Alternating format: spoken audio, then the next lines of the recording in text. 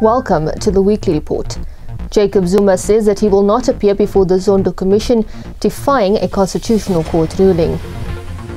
Zuma's statement lamented what he views as the bias of the State Capture Commission and the judiciary. But the inquiry says that it will file criminal charges against the former statesman for defying two summons and ignoring the apex court's ruling. The Commission can't do anything until the 15th of February, which is when Mr. Zuma has been summoned to appear, because despite the statement that he issued earlier this week, he may well turn up. There are calls for him to be stripped of his privileges as a former president, as he appears intent on flouting the laws of the country.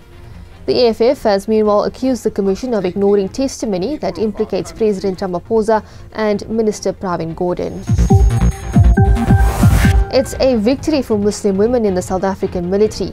The SANDF has ended its discriminatory headscarf ban. It stems from the three-year-long Major Fatima Isaacs case. She was dragged to a military court for refusing to remove her headscarf.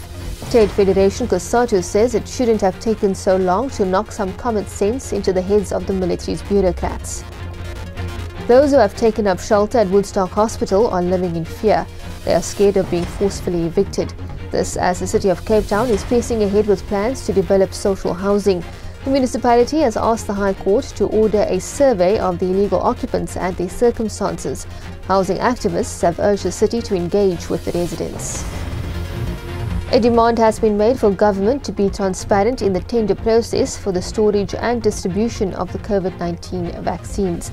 Parliament's Standing Committee on Public Accounts says the country cannot afford a repeat of the corruption that happened with the personal protective equipment.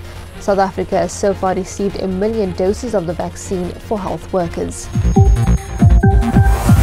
Oil giant Shell is being held to account. A Dutch court has ordered its Nigerian division to compensate farmers whose land was damaged due to oil leaks in the Niger Delta.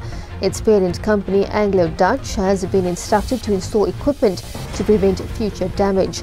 The ruling is a victory for farmers. It's also an, a very important uh, message to multinationals in general. Uh, it's not possible to ignore the rights of uh, people in developing countries anymore.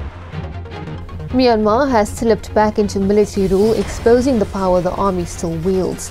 The army general Min Aung Hlaing, who led the coup, claims that there was fraud in the November 8th elections.